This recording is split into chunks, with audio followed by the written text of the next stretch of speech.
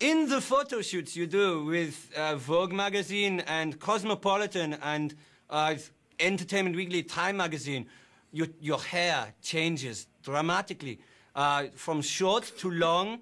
Do you wear wigs? Uh, no, I do not. Have you worn wigs?